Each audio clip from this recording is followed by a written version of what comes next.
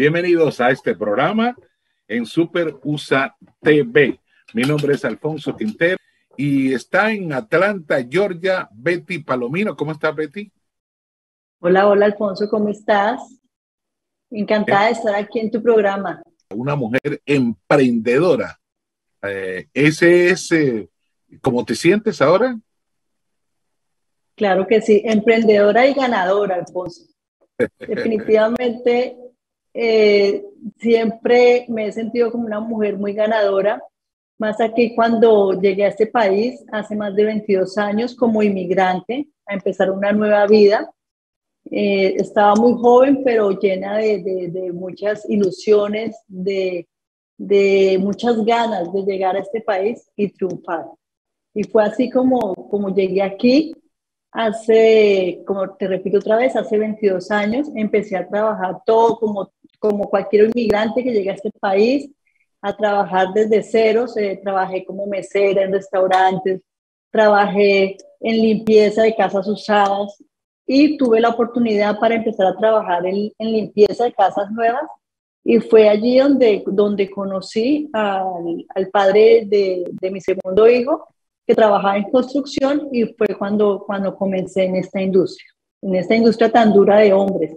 Y ahí fue cuando cuando, cuando comencé, cuando comencé eh, a trabajar con mi esposo en ese tiempo y empezamos a trabajar en diferentes ramos de la, de la construcción y fue cuando en el 2006, o sea, ya venía, como dicen, eh, teniendo el sueño americano, lográndolo.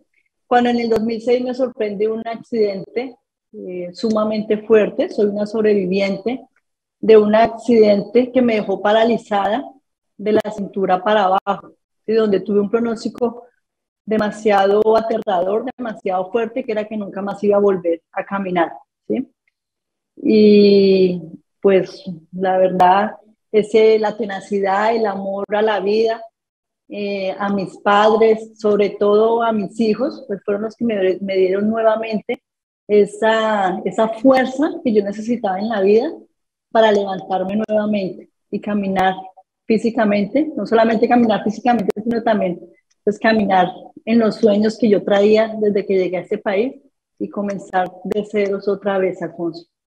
O sea, eh, lo que te alcanzo a escuchar, entonces vienes, eh, das y te metes en una industria que ha sido básicamente para hombres, que es en el tema de la construcción. Allí, aquí, allí llevabas la contabilidad o te metías a trabajar también a, los edificios, a, los techos, o, sea, así era el trabajo de cualquier hombre. Bueno, eh, bueno, nosotros hacíamos, empezamos para trabajo residencial, lo que hacía mi el, el, esposo que yo tenía en ese tiempo era ladrillo, era meso. Y pues yo empecé a trabajar, a ayudarlo en la parte administrativa. Yo estudié administración de empresas en mi país. Ah, sí, yo lo ayudaba.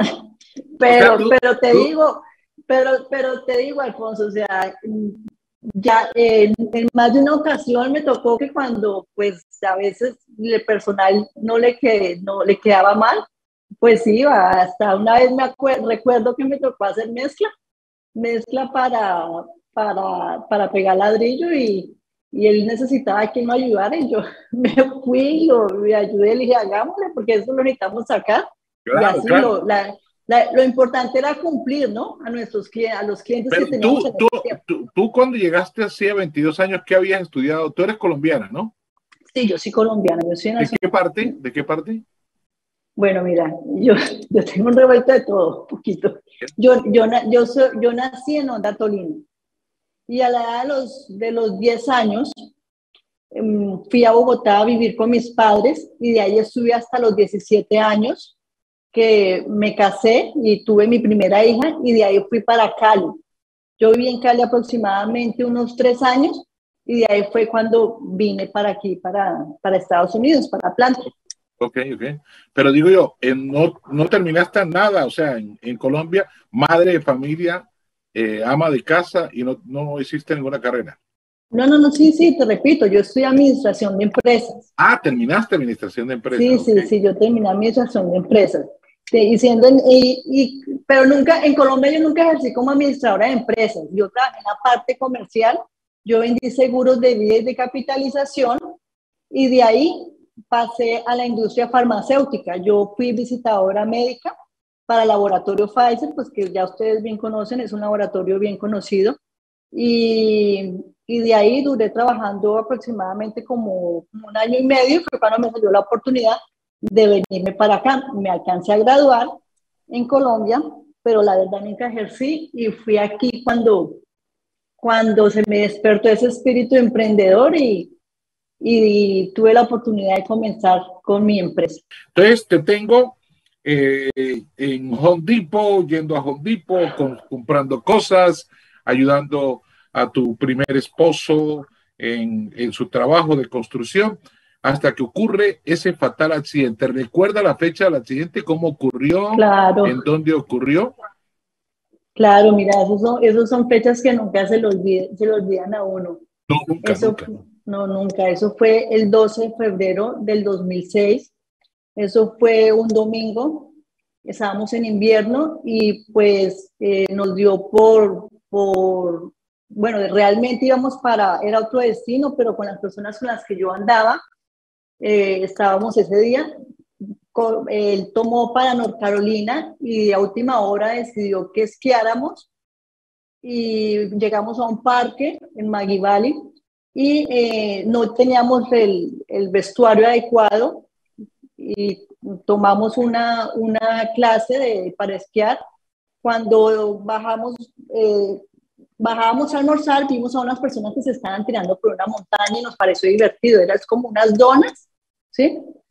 Y fuimos, almorzamos, compramos una dona y llegamos a tirarnos con todas las personas con las que estábamos, inclusive yo tenía a mi hija mayor conmigo de 12 años, pero la verdad no, no, en ese momento pues no nos percatamos que fuera peligroso, ¿no? Y pues había, como te repito, habían otras personas que se estaban tirando y ahí había, cuando... había, había licor de por medio y ya estaban en fusil. No, no, no, no, no, no, no, no, no, no, no, no, no, no, no, no, no, para nada, eso fue un domingo en la mañana, no, no había cero licor, como te digo, estaba mi hija ahí, mi hija estaba de, de 12 años, había varias otras parejas que también ten, íbamos con, con sus hijos y, y, ahí fue cuando empezamos a tirarnos, como te digo, no, vimos otras personas que se estaban tirando en esas donas, no lo vimos, no sé si tú, tú eh, conozcas de qué te estoy hablando, son como unos sí, neumáticos. Sí, sí, sí, No, inclusive tuve el privilegio, ahora esa zona que me estás hablando, tuve el privilegio de vivir allí en, en, Atlanta durante algún tiempo, montando una estación de radio allí en Atlanta. Y, y, y, de esa zona que tú me estás hablando y de lo que me estás hablando, sí tengo eh, pleno conocimiento, claro que sí. Entonces, les quedó fácil para la gente que, como el que estuviera en una piscina, ¿te acuerdas aquella época donde inflaban las llantas de camión, el, el, el neumático del camión? Entonces, ah, exacto. Ajá. entonces eh, lo, inflaban el neumático del camión y ese neumático lo pones en el río. Entonces tú te subes en el neumático. Es más, todavía en Colombia, en ciertos lugares lo hacen en el río. Eh, tuve, eh, mi hija me mostró un video en una zona palomino en la Guajira donde tú vas en el río. Zona palomino. Sí, sí así se llama por la, por la parte de, de la Guajira. Ah, mira, es tu apellido. Okay. Es tu apellido. Entonces, eh, la gente va en el río, van estos eh, neumáticos de camiones, va acostado y va pasando por todo el río hasta que llegan a un nivel y obviamente ya después viene la catarata y ahí termina el recorrido por el río pero, pero sí sé de lo que me estás hablando. Entonces te subiste en uno. Claro, y exactamente igual, en eso que tú me estás diciendo, pero pues en lugar de río, pues era la montaña claro. y pues estaba completamente blanco, sí, estaba cubierta de nieve y sí. fue, quién sabe con qué, pues eso, como era bajada, montaña, eso quién sabe con qué fue que, que golpeó. Salí, yo me monté con otra persona, yo iba en la parte de atrás, ella salió volando por un lado, yo salí por el otro eh, la otra chica sí se volvió a parar, ella se, se rompió aquí un huesito en la clavícula, eh, una fisura, perdón, creo que tuvo, pero yo sí no me volví a parar. Yo sí ahí quedé, yo seguí rodando y fue cuando el dolor, pero un dolor en las entrañas. Yo pensé que la verdad, yo sentí que yo me estaba muriendo. y de ahí yo ya no me pude volver a parar. Fue cuando quedé enterrada en la nieve y ya pues eh, ya vino el helicóptero ya vino el helicóptero a rescatarte. No no no llegó una ambulancia. Llegó fue una ambulancia. O sea ya cuando llegaron llegaron los, los amigos con los que estábamos y, y ya pues Betty parece Betty parece yo no me podía parar. Y cuando ellos vieron que yo no me, no me podía parar y yo les repetía, tengo mucho dolor, tengo mucho dolor, y era como si me estuviera muriendo y ya la voz se me iba, yo ya no podía ni hablar ni respirar. Entonces fue cuando yo rápidamente llamaron a la ambulancia, llegó la ambulancia y como entre seis personas me sacaron en una camilla, fue cuando me llevaron a un centro médico y en el centro médico eh, uno pequeño dijeron, no, aquí no la podemos eh, tratar a ella porque lo que le sucedió fue demasiado grave. Fui inmediatamente trasladada a un centro, un hospital eh, especializado y fue cuando pues ya con estudios, rayos X, hemorragias y todo, el tema fue que pues me dieron la desafortunada noticia que nunca más iba a volver a caminar. Oh my God, ¿te lo dijeron? A, ¿Eso ocurrió un domingo? ¿A, los cuánto tiempo te lo dijeron? Eso fue un domingo, el domingo a medianoche. Yo pienso que serían como las 12, una de la mañana. La verdad, yo no era consciente del tiempo, pero pues pasaron horas. el, mismo domingo ¿Te lo dicen? Claro, o sea, en la, tal vez 12, 1, 2 de la mañana, eso sería, la verdad yo no, no tuve noción del tiempo en ese momento porque pues a mí me mantenían muy dormida, a mí me colocaban, me empezaron a inyectar eh, morfina, ¿sí? Y, y, pues yo la verdad, eh, yo estaba completamente dormida, ida, había momentos que me despertaban, sí, como para algún tipo de examen que me hacían, volvían y me dormían y para la, la, noticia sí volvieron y me despertaron y fue cuando me dijeron que, que nunca más iba a volver a caminar. Eso fue como que... Sin embargo, yo decía, pero, pero este doctor, ¿qué me está hablando? ¿Qué me está diciendo? Yo digo, mira, mira, Alfonso, realmente digo, yo no sé si fue bueno o malo, pero yo en ese momento no, no, no le creía al doctor. Yo dije, este doctor, ¿de qué me está hablando? ¿Sí? ¿Por qué me está diciendo esto? Él no me conoce. Y yo, y pues siempre pensaba, digo, no, pues es que yo todo lo que yo he logrado, pues yo lo, he conseguido, ¿sí? O sea, el, el, doctor no me conoce y pues, bueno o malo, yo no conocía mucho lo que me había pasado en ese momento, ¿sí? No, no, no dimensionaba lo que, me, lo que me estaba sucediendo. Pues yo dije, no, pues esto, ¿qué me está hablando? ¿Qué me está diciendo? O sea, esto, esto no, no, no es. Y así fue como, como, como yo desde tal vez yo nunca, nunca eh, me visualicé en la silla, siempre mm, pensé en salir adelante, en levantarme. Obviamente te digo, momentos que, que yo pues intentaba de fallecer, ¿sí? momentos de oscuridad, bajones muy, muy graves en mi vida y pues porque de ahí me pasaban un montón de cosas más, Alfonso. Pero digamos, digamos, eh, ya habían descubierto que el problema era en la columna. O sea. Sí, claro, claro, a mí.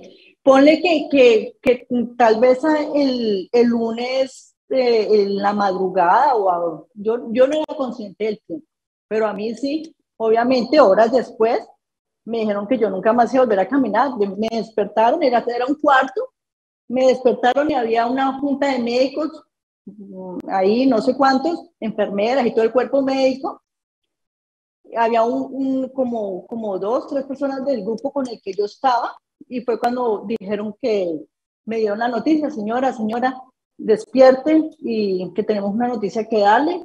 Y fue cuando me dijeron que nunca más iba a volver a caminar así, literal, como te estoy diciendo. O sea, eso... Pero, pero, o sea, ni se tomaron el tiempo, o sea, fue todo tan rápido para decirte eh, eh, ese concepto. O sea, a las 12 horas, 14 horas del hecho, decirte, señora, eh, usted no puede volver a caminar. Eh, o sea, claro. no, no, no, no, es muy... Claro que lo, que, lo que me dijeron era, era su lesión fue demasiado grave y usted nunca más se va a volver a levantar. Y yo le decía, mire, yo estaba acostada en la cama, en la camilla, Alfonso. Y estaba todo el médico, la verdad, yo sí, sí, sí, no, a mí nunca se me va a olvidar el, la cara de ese doctor la tristeza con la que me estaba hablando, porque él, él, él, él, sintió lo que me estaba diciendo a mí, yo lo miraba y yo le decía, nunca, nunca, nunca acostaba en mi cama, así, pues, el poquito que yo podía hablar. Y él me, y yo le decía, nunca, nunca, nunca. Y él me decía, no. Y yo le hice otra pregunta. Y le dije, ¿voy a volver a poder tener hijos? A mí nunca se me va a olvidar yo por qué pregunté eso. Yo ya tenía mis dos hijos. Y, y me dice, hijos sí va a volver, volver a tener, pero caminar sí no. Y que, iba, y que iba a quedar en una silla de ruedas. Y usted se va a poder mover y todo, pero en una silla de ruedas. Y en ese momento no movía nada. No, en eso, o sea, y, eso fue un proceso, Alfonso. O sea, yo, yo de, de, de, esa noticia, o sea, yo, no, yo solamente en ese momento podía mover mis ojos. Sea, yo no podía mover ni mis brazos ni nada.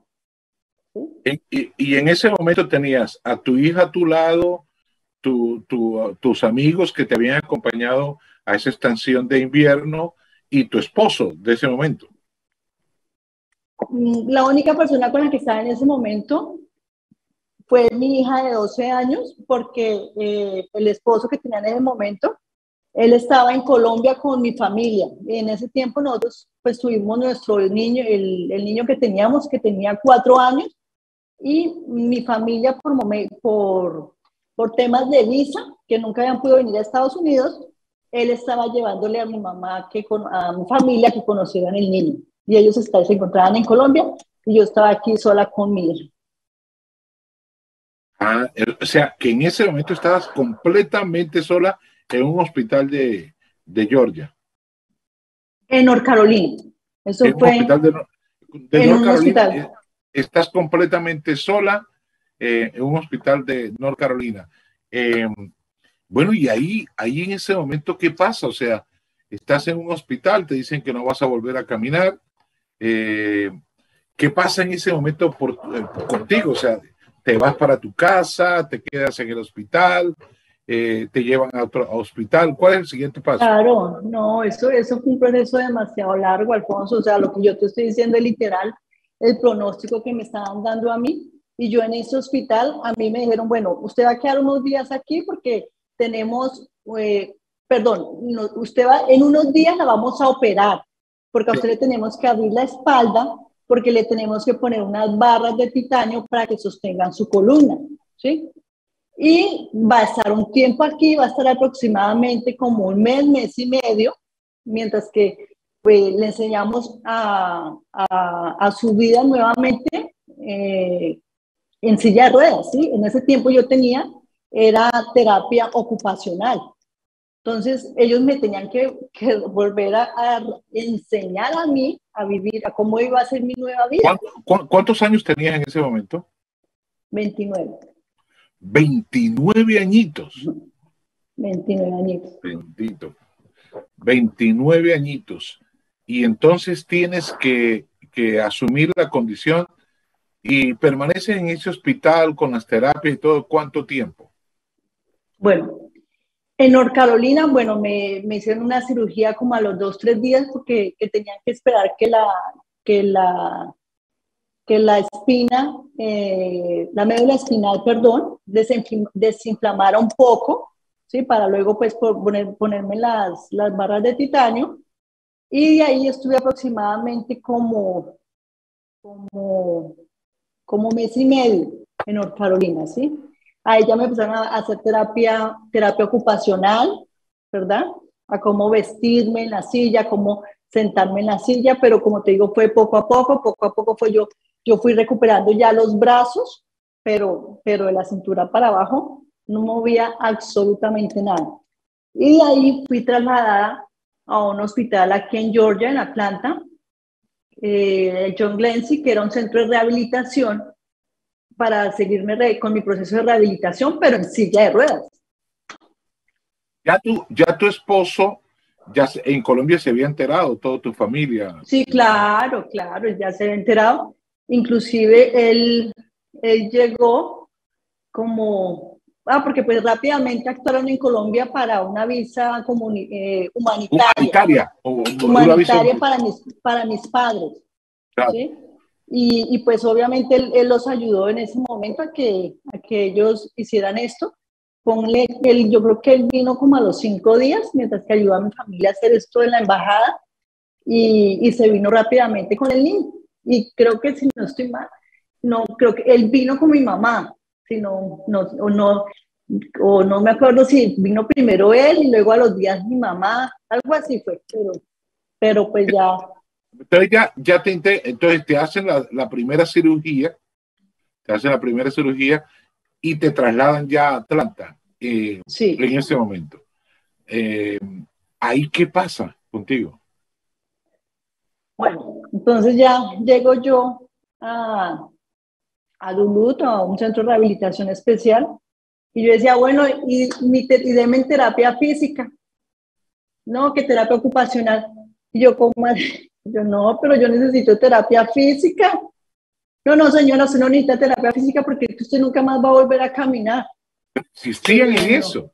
La, yo empecé a, mira, Alfonso, yo empecé a existir, dije, no, no, no, no, no, yo necesito mi terapia física. O sea, yo necesito, yo necesito, o sea, esto, esto a mí, yo no, yo, yo sé que yo necesito mi terapia ocupacional y yo sé que me voy a, a demorar en este proceso, pero yo necesito terapia física. Y no, yo no sé, lo único que me decían los médicos, las enfermeras y todos me decían, no, su doctor de cabecera no lo autoriza, no lo autorizaba porque pues la terapia física que usted haga, eso no va a servir de nada. No, ah. pues. Muy desmoralizante, o sea, ni, pues, siquiera, ni, siquiera te autorizaban a, a la terapia física de, de por lo menos y como colocan los tubos para tratar de, de, colocar los pies y tratar de caminar. No, no, Alfonso, o sea, de verdad que es muy triste a mí. Yo, yo decía, pero Dios mío, ¿cómo no me dan terapia física? Y la única terapia que me enseñaban era a vestirme, ya en silla de ruedas, como con una tabla, cómo transferirme de la cama a la silla de ruedas, cómo bañarme. Miren, me acuerdo tanto, Alfonso, que en el centro de rehabilitación que yo estaba, ellos tenían como unos especie, como unos apartamentos y los tenían acondicionados para, para personas con discapacidad. Entonces me, me, me, enseñaban, me querían enseñar a aprender a cocinar en silla de ruedas, ¿sí? a hacer jardinería en silla de ruedas, ¿sí? habituarme eh, ya en mi nueva vida. ¿sí? Yo peleando con... No, no, y, y tú, peleando tu, tu, terapia física. ¿Y pasa cuánto, cuánto, tiempo pasa entre ese, la negación de ellos de darte tu terapia eh, física e insistir en la terapia ocupacional? ¿Cuánto tiempo pasa? Como un mes, yo pienso que aproximadamente como, como un mes, porque de todas formas, al yo no recibir respuesta o, que ellos me dijeran, sí, listo, vamos a hacer su terapia física, mira, Alfonso, yo en mi cuarto y literal te lo estoy diciendo. Yo empecé, tan pronto me pudieron sentar en la silla de ruedas, ¿verdad? Pero yo ya empecé como, como, como a tratar yo misma de, de hacer el movimiento, de tratar de mover mis piernas. Cuando a las semanas, Alfonso, muevo, pero cuando yo logré mover, eh, no se veía, ¿sí? pero dentro de mí yo lo sentí. Y le, llamo al doctor, le digo, doctor, mire, pero, no se veía. ¿Y sabe qué me contesta? Me dice, mire, lo que pasa es que el músculo tiene memoria. No se así. Eh, no se ilusione porque el músculo tiene memoria y, y, son movimientos involuntarios que, puede, que, que pueden tener sus piernas. Y yo, Dios mío, ¿qué voy a hacer? ¿cómo hago para montar este médico y, y, y, convencerlo que me haga, que me mande la terapia física? Claro, y tú alcanzaste a sentir tu dedo, tu, tu pie. La pierna, o sea, el, el, muro de la pierna. Claro, tú lo alcanzaste a sentir. Pero por dentro, o sea, yo lo sentí, pero, pero no era visible. ¿sí? Entonces, cuando. eso, debe ser, eso debe ser desesperante y desmotivante que yo tratando, yo estaba feliz, llamo, mando a llamar al médico y todo, doctor, miren, cuando me dicen, no, los, músculos tienen memoria, no se ilusionen.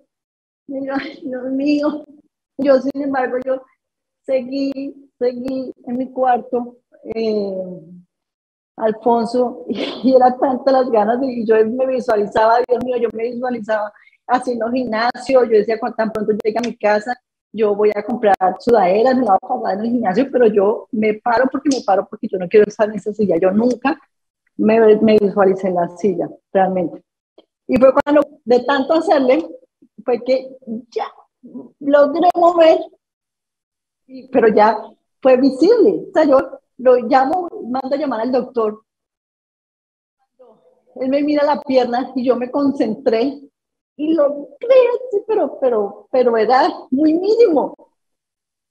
Y él me mira y me dice, ok, le voy a ordenar la terapia física. Oh, Dios mío.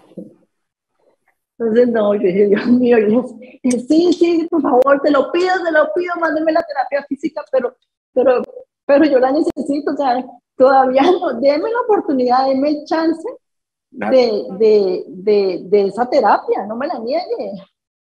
Tal vez yo lo doy gracias a mi obstinación, eh, que, que siempre he tenido mi, mi terquedad en las cosas cuando quiero algo. Y yo, yo, yo decía, pero ¿por qué ese señor si no me conoce, es que a mí no me conoce, ¿cómo me va a decir que yo me voy a quedar en una silla de ruedas? Yo digo, tal vez no sabía todo lo que era este tipo de, de, de, de accidentes, no, consecuencias en la médula, y de pronto, y de pronto los médicos a veces desconocen los milagros de Dios también que, que están allí y que obran así. Estamos hablando con Betty Palomino, autora del libro de la tristeza al éxito y de, la, tragedia, al éxito. de la tragedia al éxito, de la tragedia al éxito, que está, estará lanzando próximamente y nos está contando eh, el episodio más difícil que, que tuvo en su vida en materia física. Entonces, ya llegas a tu casa al mes eh, ya llega, ya te reciben tu esposo, tu niño. Mes y medio, dos meses. Yo pienso que pasó aproximadamente como unos dos meses. Pero ya cuando te, te autorizan la terapia física, ¿qué pasa? Bueno, pues yo duré en ese centro de rehabilitación, duré prácticamente como otro mes, mes y medio. Como otro mes. Sí, porque yo duré un mes en, en, en North Carolina y otro mes, otro mes aquí en el centro de rehabilitación aquí en Atlanta. Ok, ok. Y entonces cuando viene, viene la, la, primera semana de la, de la, terapia física, ¿qué pasa cuando, cuando ya, ya te, te, autorizan? Digo, Dios mío, con mi libro se hace una novela de Netflix. con mi vida. No, no, justa, es que tiene, para el libro tuyo tienes material con todo lo que te pasó. Así es, y cuando, y cuando lo leas te vas a quedar de con la boca abierta. Bueno, pues, llego a mi estoy, casa. Aquí estoy con la boca abierta. Llego a mi casa. Con los días eh, empecé a tener problemas con la persona que estaba casada. Me di cuenta pues que, que, empezó a andar con otra persona. Ya me salió que no quería estar conmigo, con alrededor de que habrán pasado unas semanas. ¿Todavía tú en silla de ruedas y él te dice eso? Así es, así es, pero así es, ya entré a un proceso de, divorcio y fue cuando... Divorcio, te, repito la pregunta, divorcio en plena, silla de, en plena silla de ruedas. De separación, en ese momento no fue todavía divorcio, pero sí de, de separación, de pues, él me puso pues como dice los, las cartas sobre la mesa y pues que no quería estar en, seguir con la relación, que yo iba a estar bien, que no me iba a faltar nada, bla, bla, bla, pero pues que él no, no, no quería seguir más en la relación. Y fue cuando, cuando ya eh, la relación se empezó a, a finalizar. Eh, oye, muy fuerte, ¿no? O sea, eh, porque uno, tú estás débil físicamente, obviamente al estar débil físicamente estás moralmente vulnerable. ¿Ah? Vulnerable, vulnerable, vulnerable, vulnerable. Eh, y entonces el ser humano, lo que menos después, hay gente como que no tiene timing y este señor en ese momento lo que llaman los gringos timing es tiempo justo, de, de, de no era el momento justo de, de, ir a pedir un divorcio, una separación. Deja ver qué pasa. No, Definitivamente es así, pero, pero hay personas, de pronto fue algo cultural, era el de nacionalidad mexicana, no sé, es algo que... No, no, no, yo, pues, creo que por, yo, creo que por, yo creo que por encima de los mexicanos hay gente buena y hay gente mala. Hay gente mala, exacto. Sí, yo eh, también que lo una, mismo. Una persona, mira, yo te lo digo sinceramente, sinceramente, eh, porque justamente le pasó a un amigo que en mitad del cáncer, cuando a él le descubren cáncer, va donde la esposa, con la que llevaba ya 10 años casado, y le dice, me descubrieron cáncer. Y ella le responde, ¿quién te lo va a cuidar? Yo no. ¿La esposa? La esposa le responde a él. Eh, y, le dice, eh, él le dice, me acaban de descubrir cáncer. Y entonces ella le dice, ¿y quién te lo va a cuidar? Porque yo no. Increíble. y yo te es, la, respuesta que le da ella. Que ella le a da. a, la, a la inquietud del tipo del cáncer.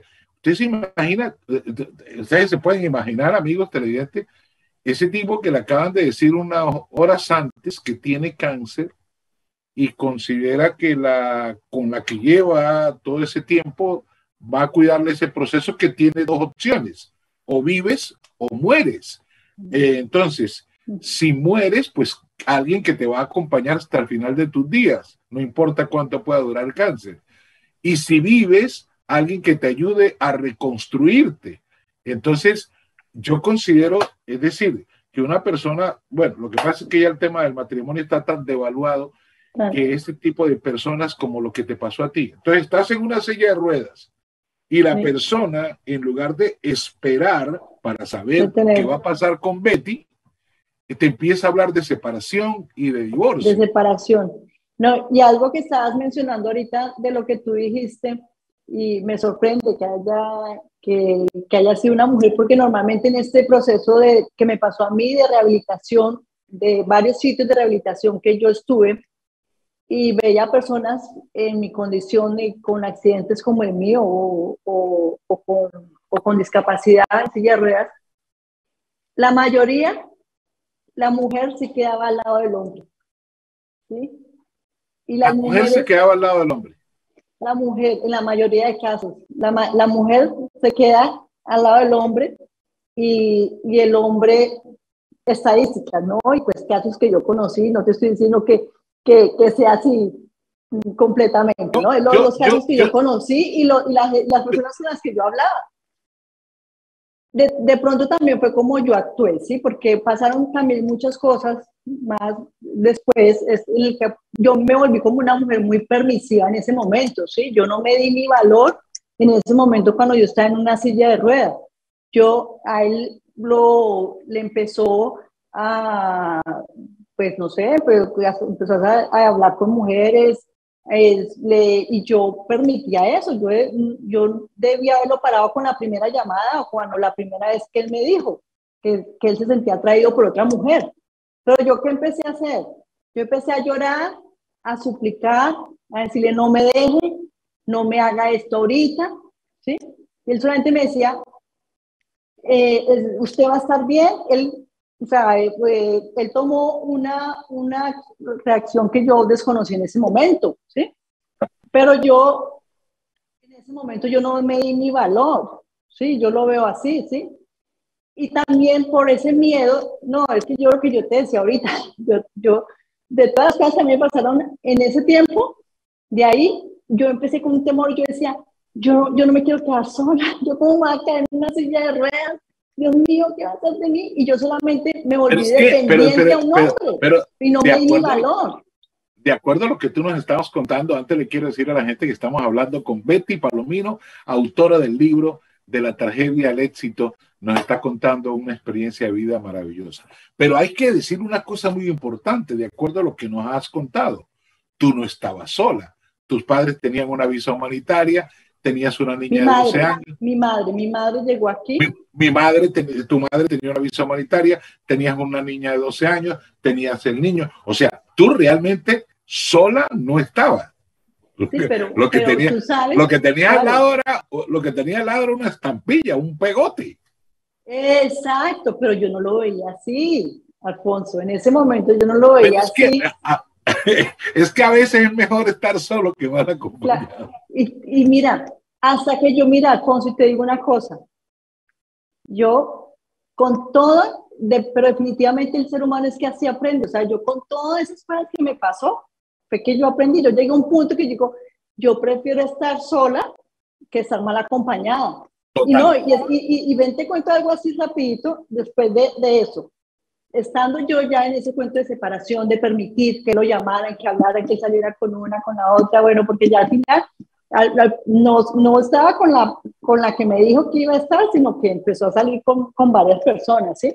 Yo con ese miedo a quedarme sola, salgo, vino mi hermana de Londres con una amiga, fuimos a, a un concierto, conozco yo una persona que empezó, le dijo a mi amiga, eh, mira, puedo llamar a, esta a Betty, me llama mi amiga, me dice puedo, que se podía hablar, que si me podía llamar, que se pueda darle mi teléfono, me llama esa persona, ¿qué te pasó? Le cuento, mi si tu esposo, le cuento lo que me estaba haciendo mi esposo, no, rehabilítate, tú, tú estás muy joven, tú eres muy bonita, te vas a quedar sola, no sé qué, no te valora. Entonces, pero fue también por decisiones que uno mal toma, porque dejé que entrara a mi vida una persona que no conocía por temor a quedarme sola, ¿sí? Y me involucré con, con él, pues, ay, yo ven, te acompaño en las terapias y no sé qué. Ay, mire, mire, Alfonso. Y de ahí fui víctima de la peor violencia física y psicológica que yo pude haber vivido. ¿Con el nuevo que llegó? Con el nuevo que llegué. Es decir, o sea, por eso te digo que en mi vida, o sea, fueron cosas muy gruesas que yo o sea, pasé. Todo, todo esto lo estás viviendo en una silla de ruedas. Viene un tipo, te, te conoce, te, te, dice, te voy a acompañar. Eh, tiene Me empiezo a rehabilitar. Te empiezas a rehabilitar. ¿Ya empieza la terapia física a funcionar? Sí, ya la terapia física empieza a funcionar. Empecé yo en un caminador, pero pues yo caminaba supremamente mal, o sea, prácticamente yo me, me, me sostenía era ese caminador. ¿sí? Claro, claro. Empiezo, me dice, rehabilítate, tú estás muy joven, me acompaña en la rehabilitación. Eh, de un momento a otro, pues ya mi relación con, con el papá del niño estaba terminando. Me involucro con esa nueva persona. Eh, no, pero pues de verdad lo que te digo, o sea, pasé maltrato físico, psicológico, pero al final a veces son personas o que digo, ángeles que llegan a tu vida no seres de luz. A veces tú, hay, hay, personas que llegan a tu vida con algún propósito, ¿sí? Sí. Porque mira, yo, yo te puedo... O sea, tú, tú saliste, puedo... tú te acuerdas aquel adagio de nuestros abuelos que decía, saliste de Guatemala para caer en Guatepeor. A Guatepeor, literal. O sea, literal, yo salí de Guatemala para Guatepeor. O sea, porque aquí ya, aquí ya hubo violencia doméstica. Violencia física, pero, pero psicológica, tremenda, tremenda, una, viol una violencia que casi, casi, mejor dicho, de, de, morir dos veces, está en mi libro, sustentado. Salgo yo huyendo como inmigrante, otra vez me iba para Canadá con mi mamá y con mi tía, que ellas fueron testigos de, de, de esa violencia que yo estaba viviendo, ¿sí? Por eso fue que yo tomé la decisión eh, de irme para otro país, que en, ese tiempo mi tía estaba recién llegada y nos, dieron la idea de ir a, a, Canadá a empezar una nueva vida. No me va a creer, Alfonso. Llegando a Canadá, a la frontera de, de Búfalo, en Mississauga, me accidento otra vez. ¿Cómo? Accidente otra vez. Me accidente otra vez, cogimos un hielo en la carretera, era un 25 de diciembre, casi a las 4 de la mañana. Uy, estaba carro, eso, estaba ne nevando terrible. Estaba nevando terriblemente, empieza a dar el carro a dar vueltas y, y pues el carro perdía total, llegó una ambulancia rápidamente, llegó un, un carro de policía, nos llevaron rápidamente a un centro médico, pero afortunadamente físicamente no nos pasó nada. Gloria a Dios. O sea, pero tú, pero tú ya habías salido, eh, ya, ya estabas caminando. En, en ese momento andaba en dos bastones. Dos bastones, el día del accidente. El día del accidente a Canadá andaba en dos bastones. Y tú sales huyendo por el tema violencia. El sales tema de huyendo hacia violencia. Canadá. O sea, Ajá. A, a- a esa altura me imagino ya era ciudadana americana. Y, Residente, residente. presidente y obviamente tenemos el acceso a Canadá. Entonces, ya sales huyendo de este personaje, eh, te acompaña tu mamá, sales huyendo allí, porque el tema ya había caído en, en que tú podías hasta perder la vida con este hombre, o sea, ya era, era un ser enfermo, un, un loco. Sí, era un psicópata. Yo digo, Dios mío, era, era un psicópata. era El Realmente. tipo, el tipo se obsesiona contigo y, y, y te lleva hasta ese nivel de tener que huir de, hacia Canadá. Claro, porque es que, mira, Alfonso, cuando uno de mujer entra a una relación tóxica, ¿sí?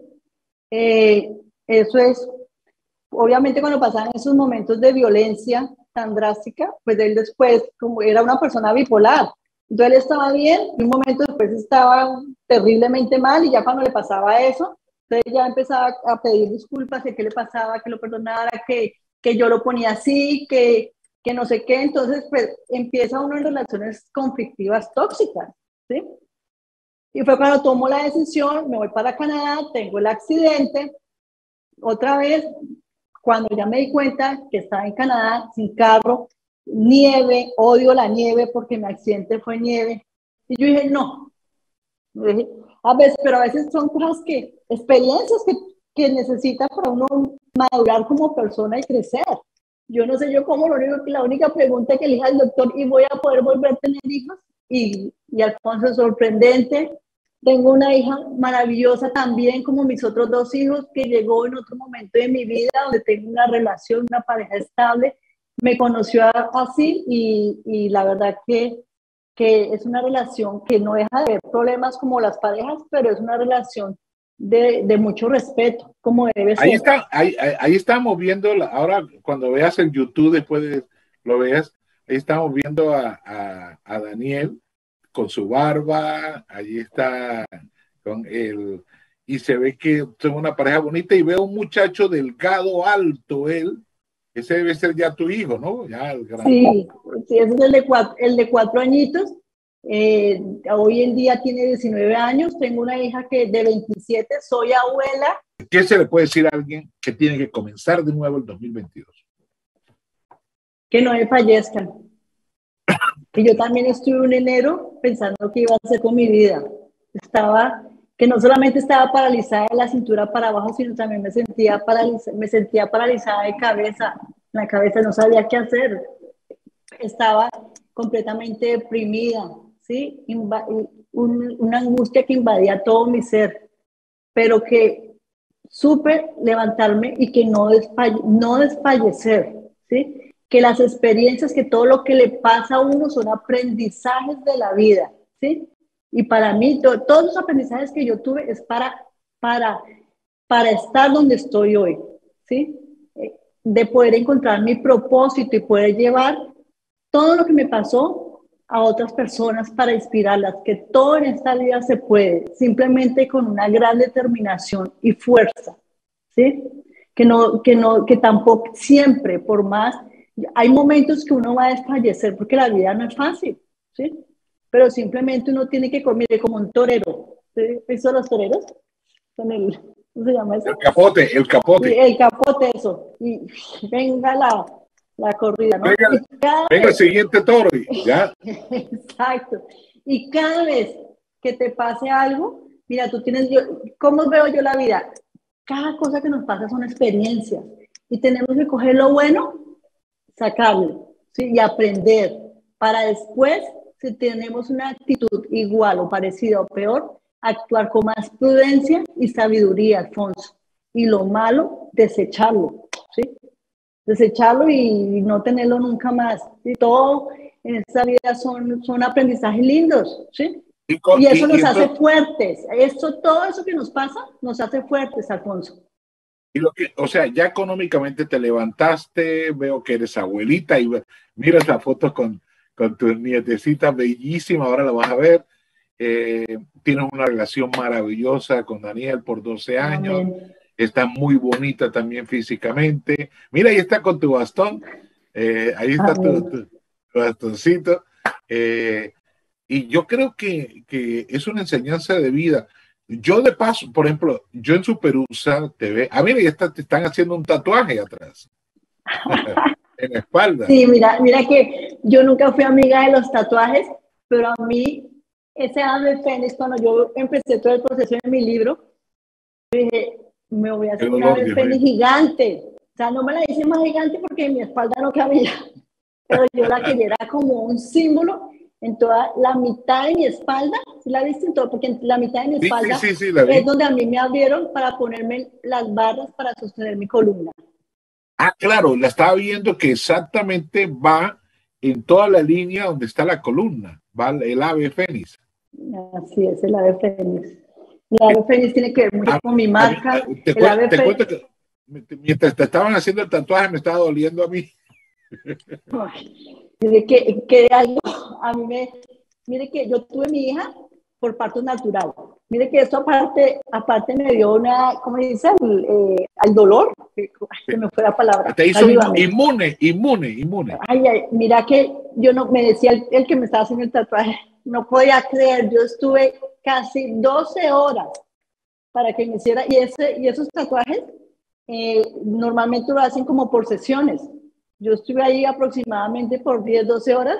No, yo ya la, la era como que me la, tenía la espalda como, como, como que, que como en vivo, así la eh, quemada en vivo, y me hacía y me hacía con esas agujas. Pero bueno, el que quiere, el que quiere algo que le cueste, el que quiera hacer este que le cueste. No, no, otro, exacto, como decía nuestra abuela, me gusta pero me mata, dijo la rata y se tomó el veneno.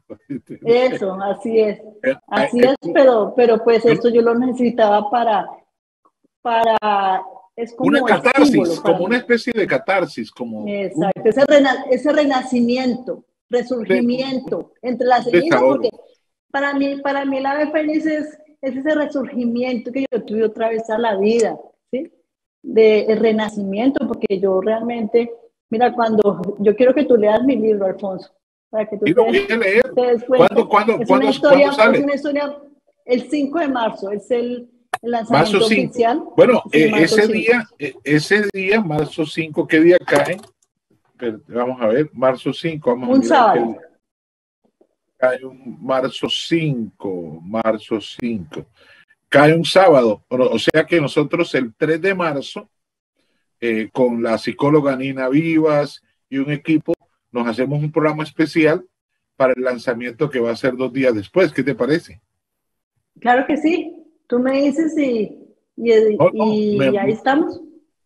No, me parece fabuloso que el mundo conozca. Eh, la verdad, tu historia es una historia fascinante. Yo creo que, yo creo, eh, Betty, uno te escucha a ti y escucha y, hay gente que tiene verdaderamente problemas. Porque hay gente que dice, no, yo debo una plata. Bueno, ¿qué puede pasar? Eh, eh, por ejemplo, en Estados Unidos nadie te mete a la cárcel por una deuda civil. Lo, peor, lo peor es que se te baja el crédito y ya. Y, y dentro de dos o tres años te llega una tarjetita de crédito por 500 dólares y con esa tarjeta levantas el crédito. Vuelves y haces crédito. Y, a los, este, este es un país bendecido por eso y a los dos o tres años tu crédito otra vez está levantado y de nuevo te vuelven a dar todas las cosas, un buen carro y hasta casa puedes lograr para una persona que dijo que lo había perdido todo.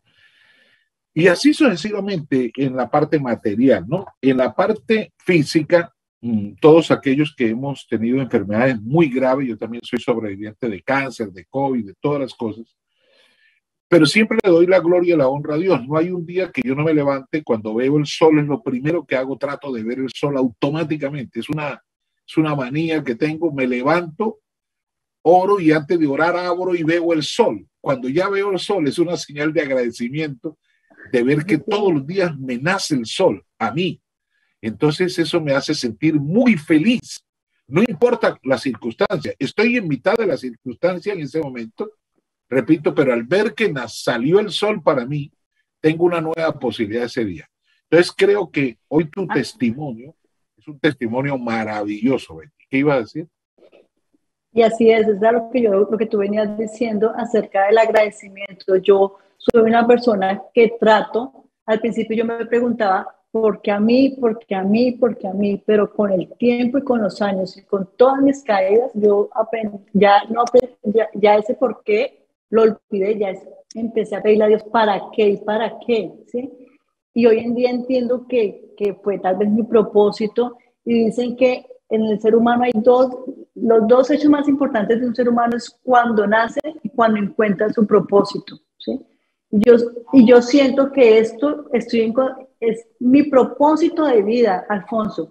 Y de ahí, si yo sirvo para restaurar muchas personas y yo trato siempre tener una mente agradecida y agradecida y digo, digo, Dios, pudo haber sido peor. Mira que estando pues con este accidente como la mía, Alfonso, yo he tenido la oportunidad de conocer personas, sí, en los centros de rehabilitación que he estado, que solamente pueden mover los ojos. El accidente mío pudo haber sido con más, más arriba de la, de la columna. No, ¿Sabes que te voy a dar un ejemplo? Michael Schumacher, el, el campeón de Fórmula 1, tuvo un accidente en la nieve y nunca se pudo recuperar. Un tipo que es millonario, imagínate, ganó, ganó cinco pruebas de Fórmula 1, cinco títulos, un tipo, absolutamente millonario, Michael Schumacher. Entonces, te puedes imaginar todos los especialistas que han pasado por la vida para tratar de recuperar a Michael Schumacher y está en una cama. Lo mismo le pasó a Christopher Reeve, el que protagonizó Superman. Entonces, y casi todos son accidentes en la nieve. Y lo de Michael Schumacher fue la nieve también. Eh, y, y entonces, Dios te dio a ti una posibilidad. Mira, yo creo lo, que tú acabas de decir, te voy a dar mi opinión personal y tú obviamente que no está distante la tuya. La primera, yo creo que Dios, yo creo que Dios manda a la guerra a sus mejores soldados. Entonces, cuando suceden este tipo de cosas es para demostrar que tú tienes una fe en Él y que esa fe te sirve como testimonio. Segundo, segundo, eso que acaba de decir que me parece maravilloso. Propósito. ¿Por qué te deja con vida? ¿Por qué te pone a caminar? Porque Él quiere que tú tengas un propósito y es darle la gloria y la honra a Él. Tres, cuando lanzas un libro de la tragedia al éxito, no sabes cuántas personas vas a alcanzar con tu testimonio. Personas que hoy, mientras están viendo este programa, consideran que su mundo se acabó. No se acabó nada. Si se fue la persona que está a tu lado, que se vaya, no servía para nada. No servía, no, era la persona que Dios tenía para ti. No, no sirven para nada. Eh, eh, eh, dice, los paisas dicen un dicho que me encanta. Lo que no fue en mi año, que no me haga daño. Adiós, ya, adiós. No pasa nada. Sacúdete, sacúdete y adelante. Ya, en la Biblia lo dice, limpio el polvo de mis pies y continúo nunca me detengo. Yo, por ejemplo, no me detengo. Hay una persona, te hizo daño, ok, eh, ora por esa persona y tú sigue de largo. Hay gente, y la otra que me encantó muchísimo también tu actitud, principios, principios tuyos que no te quiten la paz, que nada ni nadie te quite tu paz. O sea que todo ese compendio de cosas están en tu libro de la tragedia del éxito, me lo voy a leer. Así es, así es. Yo espero que mi libro pueda inspirar a muchas personas. De verdad que, que con una mentalidad fuerte puede cruzar cualquier obstáculo, inclusive aquellos que nos doblegan. De verdad que, que, que si ese, este es mi, o sea, yo sé que es mi propósito y Dios quiera que mi libro pueda, pueda ayudar a muchas personas porque, que quieran ayudarse también. Bueno, mira, tienes una cita 3 de marzo, ya puedes compartir este YouTube, ya, ya lo tienes ahí. Sí. Así, eh, eh, ah, ¿La pasaste bien? ¿Has disfrutado? ¿La pasaste bien en el programa hoy? Increíble, increíble. estaba muy nerviosa, Alfonso, al principio se me notaba, pero, pero ya me fui soltando, eres una persona increíble, gracias de verdad por esta entrevista, pero, pero al principio lo que pasa es que yo duré, yo o sea, lo que pasa es que antes de mi accidente yo era una persona extrovertida y todo. En el momento que yo me accidenté, yo ya me, me volví también un poco, ya pasé a ser una persona introvertida, ¿sí? Dentro de mi negocio siempre. Pero ya a partir del año, del año pasado que empecé con el proyecto de mi libro y donde esto nació ya hace varios años, que las mismas, mi, mi familia, las personas que trabajaban conmigo, eh, las personas que me conocían, cuando sabían toda mi historia, me decían, no, yo sé por qué no se escribe un libro, sé por qué no se escribe un libro, sabe que su historia puede ayudar a muchas personas. Y cuando se me dio de, que, de, de cumplir ese sueño, porque para mí era un sueño, Alfonso, y yo traté en el 2015 hacerlo y no se me dio, y, como, y, y ahora, el tiempo, el, tiempo, tiempo de Dios. El tiempo, de Dios es perfecto, era ahora. Sí es, el tiempo de Dios es perfecto, me ha preparado, y ya cuando empezó todo esto, me, me, me, salió otra vez cuando, y ahora que con entrevistas en medios siempre había pensado y cuando tú pones esos pensamientos negativos, yo decía, ay Dios mío, ¿qué voy a decir ante cámara y, y, pues ya llegó y estoy trabajando otra vez en eso para sacar esa, eh, esa gracia en mí para poder hablar a las personas y llegue mi mensaje. Ahí tienen ustedes la portada, queridos amigos, de lo que es el libro eh, vamos a hacer un lanzamiento aquí el eh, jueves 3 de marzo en el programa también. La vamos a invitar, ahí está la portada plena para que la puedan ver. Tiene una pinta de reina de España, de reina de, de Monte Carlo, una de allá de Mónaco, de ese reinado de Francia. Eh, muy bien. Amén. Quise proyectar que, que también, independientemente de todas las cosas que viví, que me pasó, pues mi vida pude levantarme con mucha más fuerza y, siendo una mujer muy feliz. Gracias a todos, compartan esta entrevista porque creo que la van a necesitar muchos de ustedes como la necesitamos nosotros. Pero toda la cruz y la honra se la damos a Dios y por eso le decimos Dios conmigo, yo con él, él adelante y yo tras él, porque Dios todo lo puede. Hasta siempre.